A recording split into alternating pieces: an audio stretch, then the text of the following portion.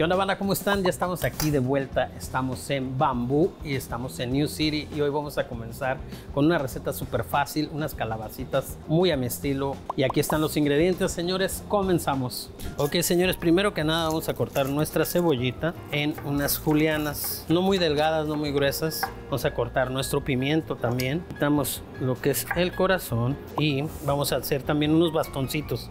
No se desperdicia nada. Aquí tenemos el corazón. Así está mi corazón de marchito, señores. No es cierto. Voy a acercar un bote de basura y voy a echar una limpiadita y ahorita regresamos. Y por último, vamos a cortar nuestra calabacita y también vamos a hacer unos bastones, señores. Unos bastones. Es una receta súper sencilla, rica, sabrosita. Todos unos bastoncitos. Ya tenemos nuestro sartén calientito. Miren nada más. Ya tenemos nuestro pollito.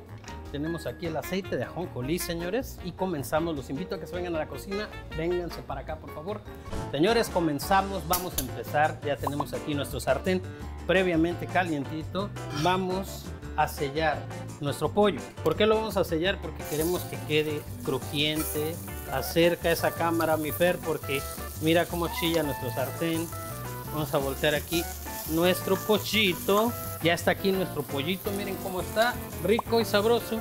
Ahora le vamos a agregar el ajo, que se empiece a mezclar. Le vamos a agregar jengibre, señores, también. Le vamos a agregar la cebollita. Esa cebollita que a mí me encanta. Recuerden, es paso a paso, no es nada más aventar los ingredientes. Ya que está media caramelizada nuestra cebolla, señores, le vamos a agregar las calabacitas y nuestros pimientos. Recuerden que el pimiento y la calabacita es algo que queremos crocante, ¿no? Ya lo tenemos ahí. Ahorita vamos a dejar que siga cocinándose. Recuerden, es una receta que podemos hacer en la casita. Cinco minutos nos vamos a tardar, señores. Cinco minutos en hacer una receta súper fácil, diferente, que le va a gustar a los niños para que no vayan a comprar comida china allá al puesto de la esquina y les haga daño, ¿no es cierto? Prueban y háganlo en casitas. Le vamos a agregar ahora los chiles, señores. Chiles secos cacahuates, la salsa soya.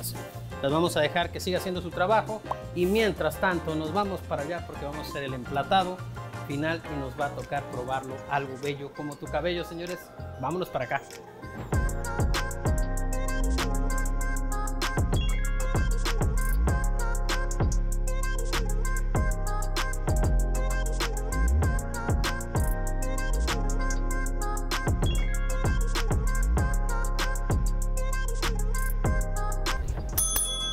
Señores, ya estamos aquí. ¿Qué creen? Así quedó nuestras fajitas orientales. Como pueden ver, el arroz ya lo teníamos precocinado por cuestiones de tiempo.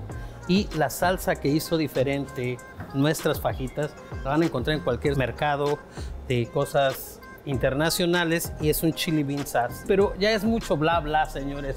Y ahora me toca probar estas fajitas orientales. Me toca el trabajo difíciles y yo con esto me despido.